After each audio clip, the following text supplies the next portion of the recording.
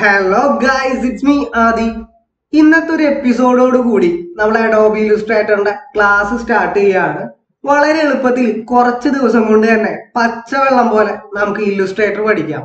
നിങ്ങൾ എന്റെ കൂടെ കട്ടക്ക് നിന്നാൽ മതി. അപ്പൊ ആദ്യം തന്നെ കുറച്ച് കാര്യങ്ങൾ കുറച്ച് ഇമ്പോർട്ടന്റ് ആയിട്ടുള്ള കാര്യങ്ങൾ നിങ്ങളുടെ അറിവിലേക്ക് ഞാൻ ഷെയർ ചെയ്യാണ്. എന്നിട്ട് നമുക്ക് സോഫ്റ്റ്വെയർ ഓപ്പൺ ചെയ്ത് നമുക്ക് വർക്ക് ചെയ്ത് തുടങ്ങാം. ചിലർ ചോദിക്കാറുണ്ട് കൂടുതലും തുടക്കക്കാരാണ്. ഫോട്ടോഷോപ്പ് ആണോ ബെറ്റർ ഇല്ലുസ്ട്രേറ്റർ ആണോ? സത്യത്തിൽ അങ്ങനൊരു ചോദ്യത്തിന് ഇവിടെ പ്രസക്തിയില്ല കാരണം രണ്ട് സോഫ്റ്റ്വെയർസും എഡോബി തന്നെയാണ് ഡെവലപ്പ് ചെയ്തിട്ടുള്ളത്. അതുകൊണ്ട് തന്നെ ഇവിടെ കോമ്പറ്റീഷൻ ഇല്ല. രണ്ട് സോഫ്റ്റ്വെയറും രണ്ട് പർപ്പസിന് വേണ്ടിയിട്ടാണ് ഉപയോഗിക്കുന്നത്. അപ്പോൾ അങ്ങനെ ഒരു ചോദ്യം അവിടെ ആവശ്യകത ഇല്ല എന്ന് തന്നെ ആദ്യം പറഞ്ഞുകൊണ്ട് തന്നെ ഞാൻ തുടങ്ങുകയാണ്. എഡോബി ഇല്ലുസ്ട്രേറ്റർ എന്താണ്?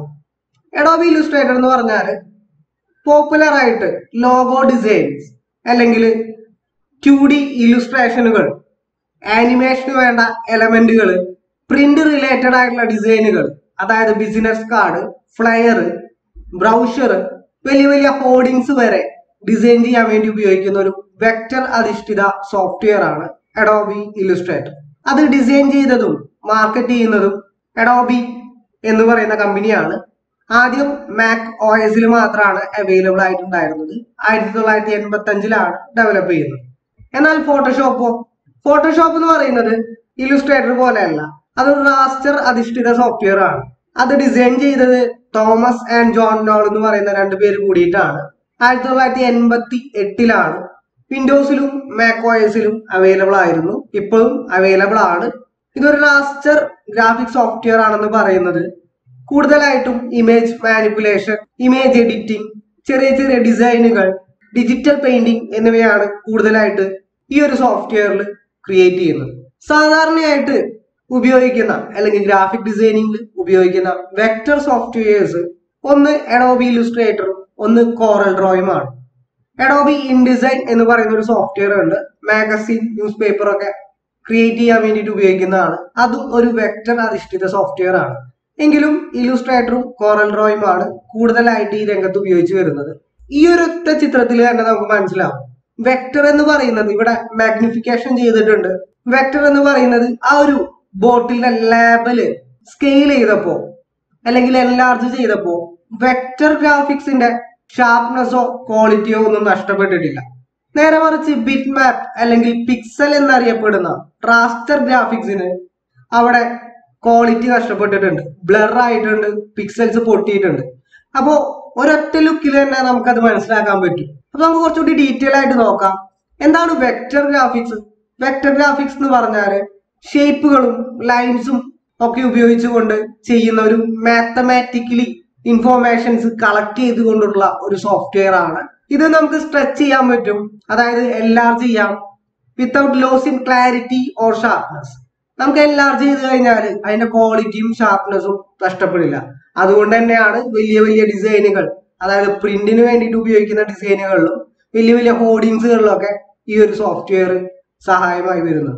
വെക്ടർ ഫയൽ ഫോർമാറ്റുകളാണ് എ ഐ ഇലുസ്ട്രേറ്ററിന്റെ ഫയൽ ഫോർമാറ്റ് ആണ് E P S P S S P G എന്നിവയൊക്കെ. വെക്ടർ ആർട്ട് വർക്കുകളാണിത് ഇതൊക്കെ വെക്ടർ അല്ലെങ്കിൽ അഡോബി ഇലുസ്ട്രേറ്റർ ഉപയോഗിച്ചുകൊണ്ട് ക്രിയേറ്റ് ചെയ്യാൻ പറ്റുന്ന ആർട്ട് വർക്കുകളാണ് വെക്ടർ ഇല്ലുസ്ട്രേഷന് വലിയൊരു പ്രാധാന്യം ഉണ്ട് അതിൽ. ഇനി റാസ്റ്റർ ഗ്രാഫിക്സ് എന്ന് പറഞ്ഞാൽ എന്താണെന്ന് നോക്കാം. റാസ്റ്റർ ഗ്രാഫിക്സ് എന്ന് പറയുന്നത് ഒരുപാട് പിക്സൽസ് കൊണ്ട് ക്രിയേറ്റ് ചെയ്യപ്പെട്ടിട്ടുള്ളതാണ്. ഇപ്പൊ ഫോട്ടോഷോപ്പ് ഓപ്പൺ ചെയ്യുകയാണെങ്കിൽ അതിന്റെ ക്യാൻവാസ് മുതൽ ബ്രഷസ് വരെ പിക്സൽ ക്രിയേറ്റ് ചെയ്തിട്ടുള്ള പിക്സൽ കൊണ്ടാണ് മെയ്ഡപ്പ് ചെയ്തിരിക്കുന്നത്. അതിനെ സ്കെയിൽ ചെയ്യുമ്പോൾ ആ ഡോട്ട്സ് വലുതാകുകയും ക്വാളിറ്റി നഷ്ടപ്പെടുകയും ചെയ്യും.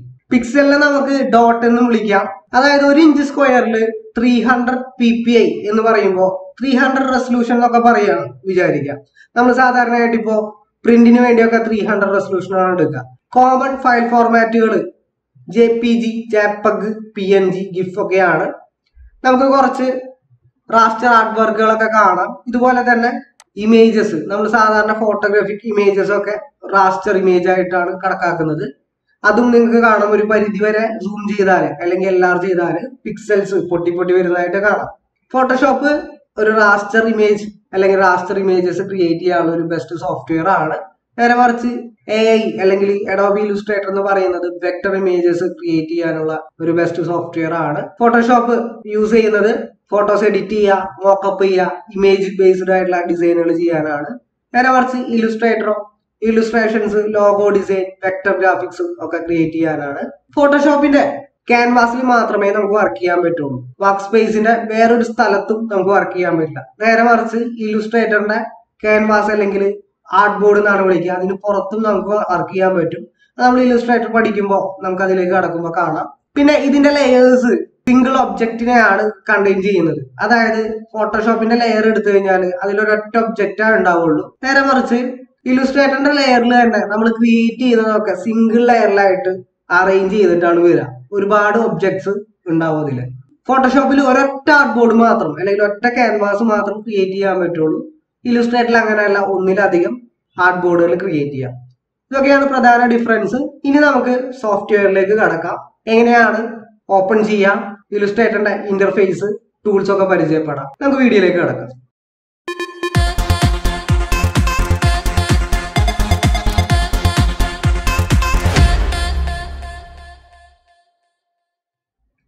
നമുക്കിവിടെ നോക്കാം. ഞാൻ ഇല്ലുസ്ട്രേറ്റർ ഓപ്പൺ ചെയ്തിട്ടുണ്ട്. അപ്പൊ ആദ്യമായിട്ട് തന്നെ കാണുന്ന ഒരു വിൻഡോ വെൽക്കം വിൻഡോ എന്നാണ് പറയാ. വെൽക്കം ടു ഇലുസ്ട്രേറ്റർ പിന്നെ എന്റെ പേര് കൊടുത്തിട്ടുണ്ട് ആദ്യം നിന്ന് വെൽക്കം വിൻഡോ ഈ വെൽക്കം വിൻഡോയിൽ എന്തൊക്കെയാണ് കണ്ടെയ്ൻ ചെയ്തിട്ടുള്ളതെന്ന് ഞാൻ പറയാം. ആദ്യം ക്രിയേറ്റ് ന്യൂ അതായത് ന്യൂ ഫയൽ പുതിയൊരു ഫയൽ ക്രിയേറ്റ് ചെയ്യുക. അതായത് പുതിയൊരു ആർട്ട് ബോർഡ് ക്രിയേറ്റ് ചെയ്യാനുള്ള ഓപ്ഷൻസ് ആണ് അതിൽ വരുന്നത്.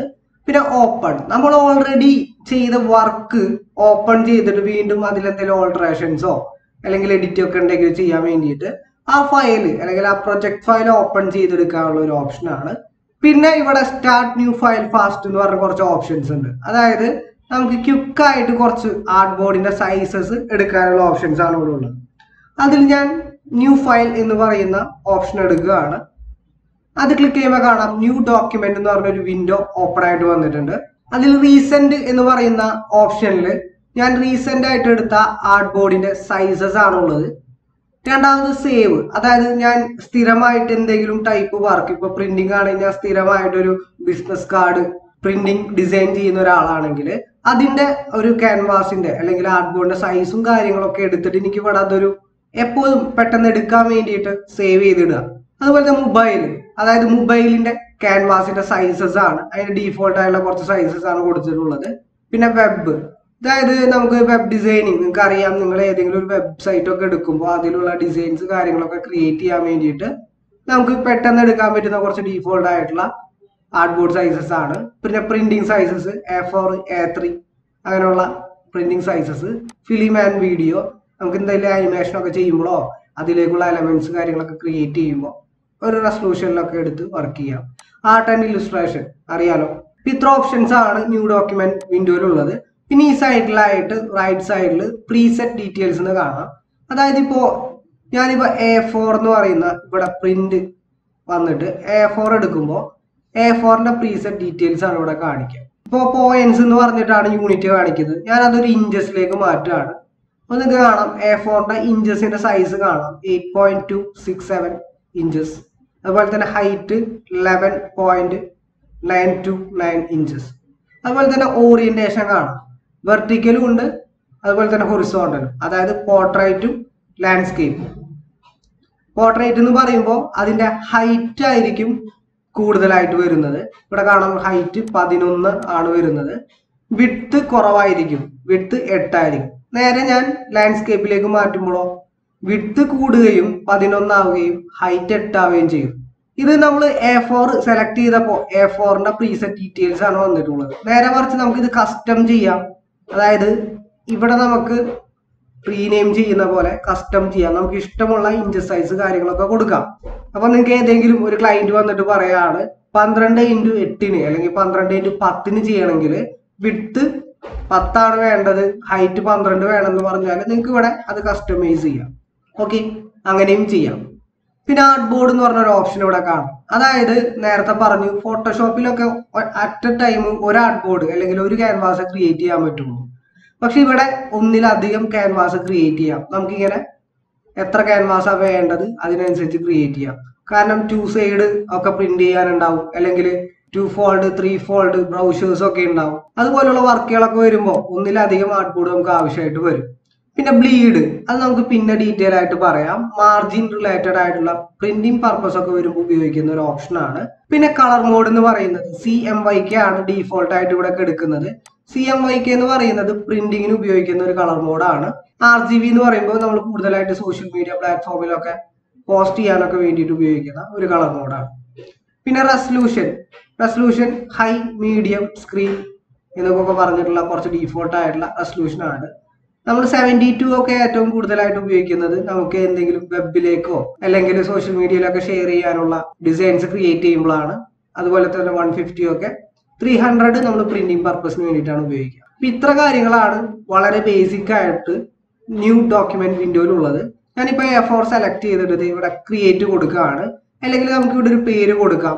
ഇതൊരു ഇലുസ്ട്രേറ്ററിന്റെ ഇൻട്രൊഡക്ഷൻ ക്ലാസ് ആയതുകൊണ്ട് എ ഐ ഇൻട്രൊഡക്ഷൻ എന്ന് പറഞ്ഞ് ഞാൻ ജസ്റ്റ് പേര് കൊടുക്കുകയാണ് എ ഫോർ ആണ് സെലക്ട് ചെയ്തിരിക്കുന്നത്. ഞാൻ ക്രിയേറ്റ് ചെയ്തു. അപ്പൊ ഈ കാണുന്നതാണ് ഇന്റർഫേസ് എന്ന് പറയുന്നത്. അതായത് എഡോബ് ഇലുസ്ട്രേറ്ററിന്റെ വർക്ക് സ്പേസ് ആണ് ഈ കാണുന്നത്. അപ്പൊ അതിൽ സെൻട്രലായിട്ടുള്ള ഈ ഒരു വൈറ്റ് പോർഷൻ ആണ് നമ്മൾ ആർട്ട് ബോർഡ് എന്ന് പറയുന്നത്. ഫോട്ടോഷോപ്പിലൊക്കെ നമ്മൾ ഇതിനെ ക്യാൻവാസ് എന്നാണ് വിളിച്ചിരുന്നത്. ഇലുസ്ട്രേറ്ററിലേക്ക് വരുമ്പോൾ അതിന്റെ പേര് ചെറുതായിട്ടൊന്ന് മാറി ആർട്ട് ബോർഡ് എന്നാണ് പറയപ്പെടുന്നത്. ലെഫ്റ്റ് സൈഡിലുള്ളതാണ് ടൂൾ ബാർ ഏറ്റവും മുകളിലുള്ളത് menu bar file edit object type etcetera കാര്യങ്ങൾ അതിന് തൊട്ട് താഴെയുള്ളത് optional menu bar optional menu ബാറിൽ നമുക്ക് കാണാം കളർ സ്ട്രോക്ക് യൂണിഫോം അങ്ങനെയുള്ള ഡീറ്റെയിൽസ് കാണാം. അതിൽ ടൂൾ ബാറിൽ നിരവധി ടൂളുകൾ ഉണ്ട് ഈ ടൂളുകൾ ഉപയോഗിച്ചിട്ടാണ് നമ്മൾ ഡിസൈനുകൾ ചെയ്യുന്നത്. മെനു ബാറിലേക്ക് വരുമ്പോൾ file edit object types select എന്നീ ഡീറ്റെയിൽസ് ആണ്. ഓരോന്നും നമ്മുടെ വർക്കിനനുസരിച്ചാണ് ഉപയോഗിച്ച് വരുന്നത്. പിന്നെ മെനു ഓപ്ഷണൽ ബാർ നേരത്തെ ഞാൻ പറഞ്ഞ പോലുള്ള ഡീറ്റെയിൽസ് ആണ് ഉള്ളത്. പിന്നെ ഈ സൈഡിൽ കാണുന്നത് പാനൽസ് എന്നാണ് അറിയപ്പെടുന്നത്. ഈ പാനൽസ് ലെയർ പാനൽ ഉണ്ടാകും. ഇതാണ് ലെയർ പാനൽ എന്ന് പറയുന്നത്. അതുപോലെ കളർ പാനൽ ഒരുപാട് പാനൽസ് ഉണ്ട്. പ്രിഫറൻസുകളും പ്രോപ്പർട്ടീസും ഒക്കെ ഉണ്ട്. അതൊക്കെയാണ് ഇവിടെ വരുന്നത്. പ്രധാനമായിട്ടും വിൻഡോസിൽ നമുക്ക് ഇവിടെ വർക്ക് സ്പേസ് എന്ന് പറഞ്ഞ ഓപ്ഷൻ ഉണ്ടെങ്കിൽ നമുക്ക് ഏത് ടൈപ്പ് ഓഫ് വർക്കാണ് ചെയ്യുന്നത്? അതിന്റെ രീതിയിൽ നമ്മുടെ ഈ ഒരു ഇന്റർഫേസ് അല്ലെങ്കിൽ ഈ ഒരു വർക്ക് സ്പേസ് നമുക്ക് സെറ്റ് ചെയ്യാവുന്നതാണ്. ഇപ്പൊ ഞാനിത് ഇപ്പൊ ഒരു ടൈപ്പോഗ്രഫി ചെയ്യാൻ വേണ്ടിയിട്ടാണ് ഇലുസ്ട്രേറ്റർ എടുക്കുന്നതെങ്കിൽ ഇവിടെ ടൈപ്പോഗ്രഫി സെലക്ട് ചെയ്ത് കൊടുത്താൽ ഇതിന്റെ വർക്ക് സ്പേസ് ആ ഒരു രീതിയിലേക്ക് മാറും. ഇനി ഞാൻ മറ്റൊരു വർക്ക് ചെയ്യാണ്. ഇപ്പൊ പെയിന്റിങ് ചെയ്യാനാണ് ഉപയോഗിക്കുന്നതെങ്കിൽ ഞാൻ ഇവിടെ പെയിന്റിങ്ങിലേക്ക് എടുത്തു കഴിഞ്ഞാൽ ആ രീതിയിലേക്ക് ഇതേ കളർ പാനലും കാര്യങ്ങളൊക്കെ വന്നു. സ്ക്രാച്ചസ് പാലറ്റ്സ് ഒക്കെ വന്നിട്ടുണ്ട്. ആ ഒരു രീതിയിലേക്ക് മാറും. സാധാരണയായിട്ട് ഡീഫോൾട്ടായിട്ട് എടുക്കുന്നത് എസെൻഷ്യൽ അല്ലെങ്കിൽ എസെൻഷ്യൽ ക്ലാസിക് ആണ്.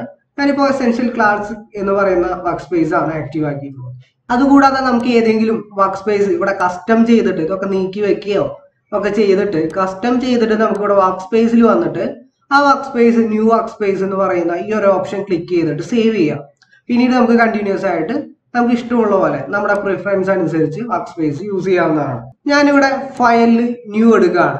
കൺട്രോൾ എൻ ആണ് ഷോർട്ട് കട്ട് നമ്മൾ ഈ ഒരു ക്ലാസ് അല്ലെങ്കിൽ നമ്മുടെ ക്ലാസ് വളരെ ഡീറ്റെയിൽ ആയിട്ടാണ് ബിഗിനേഴ്സിന് വേണ്ടിയിട്ടാണ് ക്രിയേറ്റ് ചെയ്യുന്നത്. നമ്മുടെ എല്ലാ ട്യൂട്ടോറിയൽസ് അങ്ങനെയാണ്. സോ നമ്മൾ ഷോർട്ട് കീസ് ഒക്കെ പറഞ്ഞു പോകും ഷോർട്ട് കീസ് ഒക്കെ അപ്പൊ തന്നെ എഴുതി നോട്ട് ചെയ്ത് വെക്കുക.